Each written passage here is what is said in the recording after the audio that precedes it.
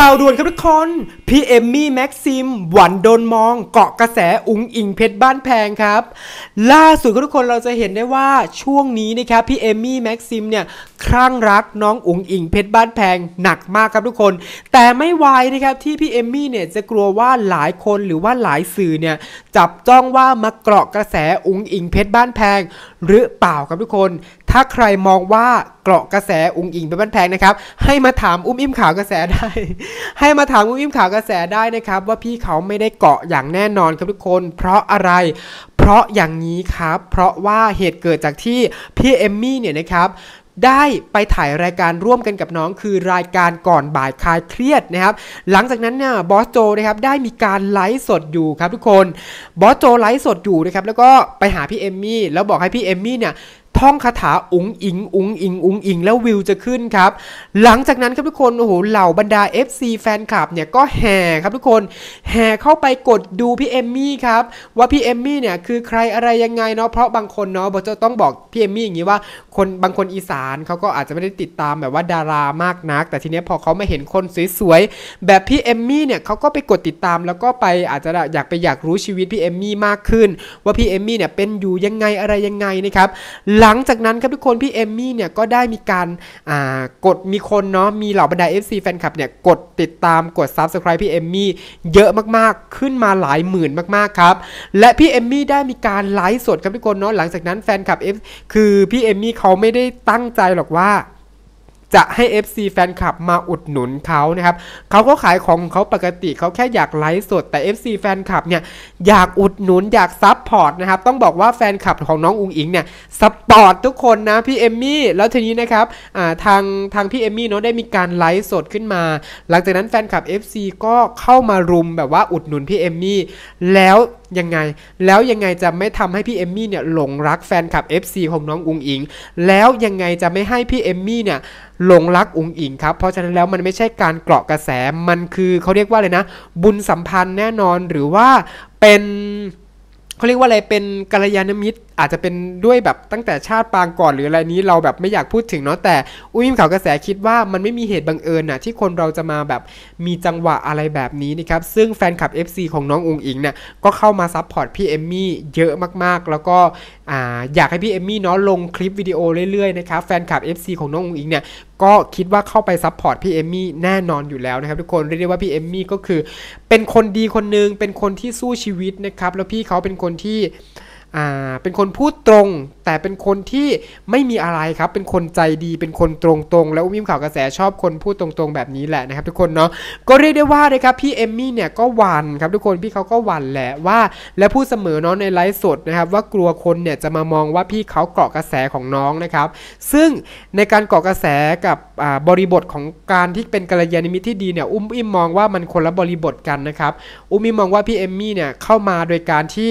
จังหวะเวลาแล้วก็ได้ไปร่วมงานกันกับน้องนะครับทุกคนเพราะฉะนั้นแล้วแฟนคลับ FC เนี่ยก็ชอบพี่เอมมี่ขึ้นมาแล้วนะตอนนี้เนาะทุกคนเรียกได้ว่าพี่เอมมี่เป็นคนที่อ่าเป็นคนศิลปะ เป็นคนอารมณ์ศิลปะเหมือนกันกับน้องอุ๋งอิงอะแล้วเป็นคนสู้ชีวิตเหมือนกันน่ะแฟนคลับ FC ก็เลยชอบ แล้วก็พี่เอมมี่ได้มีการแต่งกรอนเนาะให้กับน้องด้วยล่าสุด ซึ่งเพราะมากๆนะครับซึ่งหลายคนได้ฟังแล้วก็ร้องไห้ตามเนาะอุ้ยมข่าวกระแสเองเนี่ยก็แอบแบบอึ้ง อึ้งเหมือนกันว่าพี่เอมมี่แบบแต่งได้ยังไง คือแต่งได้กินใจแฟนคลับ FC มากๆนะครับ แล้วก็มองว่านะครับกรอนนี้อุงอิงได้ฟังแล้วเนี่ยน้องก็น่าจะประทับใจอยู่แล้วอุ้มอิมข่าวกระแสคิดว่าน้องน่าจะได้ฟังแล้วนะ FC แฟนคลับก็น่าจะได้ส่งให้น้องฟังแล้วนะครับทุกคนเรียกได้ว่าพี่เอมมี่เนาะข้ามบอร์ดมาในวงการบันเทิง แฟนคลับ FC เนี่ยก็อยากให้ พี่เอมมี่สอนนะสอนในเรื่องการแสดงอะไรต่างๆ น้องนะครับทุกคนเรียกได้ว่าเราจะได้เห็นพี่เอมมี่เนี่ยในรายการก่อนบ่ายคลายเครียดเนี่ยคือเล่นแบบธรรมชาติมากๆ คือเล่นแบบ คือพี่เอมมี่เป็นธรรมชาติมากๆ แล้วเป็น professional มากๆนะครับเรียกได้ว่าเขาเนี่ยเป็นมืออาชีพนะครับทุกคนเนาะก็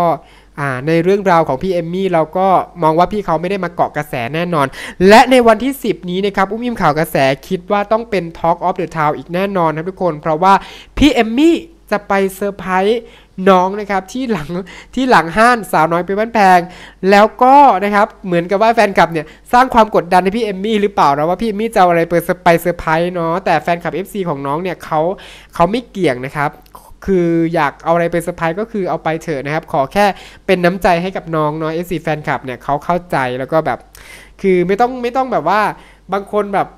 คือบอกว่าต้องให้อันนู้นอันนี้นะครับ แต่สำหรับอุ้มอิมขาวกระแสเองคิดว่าแฟนคลับน้องเนี่ยอมองว่า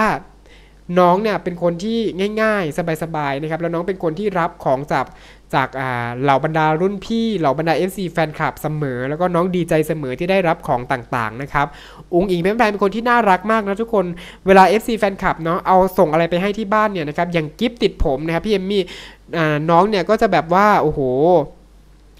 เอากิฟทั้งหมดเลยที่แฟนคลับ FC ส่งมาให้เนี่ยติดบนหัวทุกอันนะครับ แล้ว FC แฟนคลับเนี่ยก็จะได้เห็นนะว่านี่คือกิฟของฉันคือกิฟของฉัน อุงอิงคือใส่หมดทุกอันเพื่อที่จะให้แฟนคลับเนี่ยได้เห็นว่าน้องเนี่ยใช้นะ ว่าน้องเนี่ยได้รับของแล้วนะนะครับ FC แฟนคลับถึงรักน้องมากมายขนาดนี้นะครับเพราะว่าเพราะฉะนั้นพี่เอมมี่ไม่ต้องคิดมากว่า จะต้องเอาอะไรไปให้น้องเนาะมิมข่าวกระแสคิดว่าเอาอะไรไปให้น้องก็ดีใจเสมอ เอาเป็นกรอนแบบนี้แหละ ไปให้น้องก็ดีใจแล้วนะครับทุกคนเนาะก็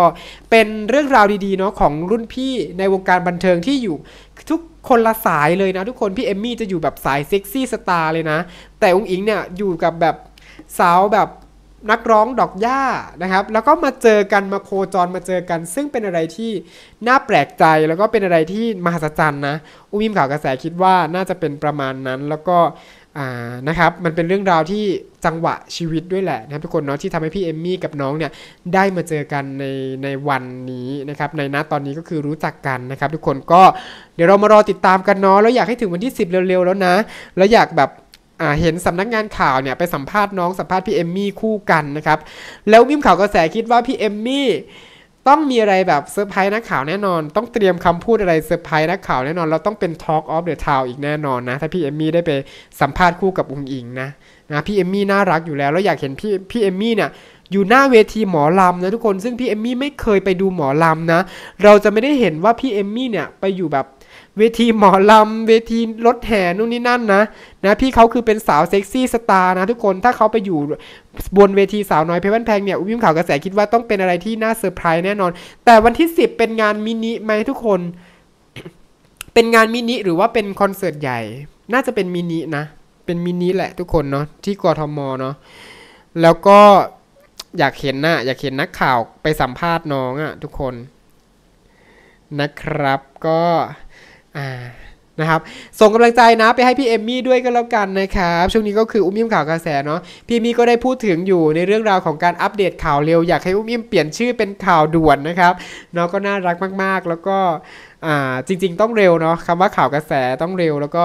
พี่เอมมี่ยังไม่จบไลฟ์เลยอุ้มก็ลงข่าวแล้วนะครับ แล้วพี่เอมมี่ก็จะไปดูข่าวแบบสดๆนะ ก็สื่อได้ว่าเป็นเรื่องราวดีๆเนาะให้ FC ได้พูดคุยกันในไลฟ์นะครับ ก็สำหรับคลิปนี้ก็ไม่มีอะไรมากครับทุกคน ฝากทุกคนนะครับ กดไลค์กดแชร์ให้ช่องมิมข่าวกระแสด้วยนะครับ แล้วก็สนับสนุนนุ่มมิมได้โดยการไม่ข้ามโฆษณานะครับ รักทุกคนนะครับ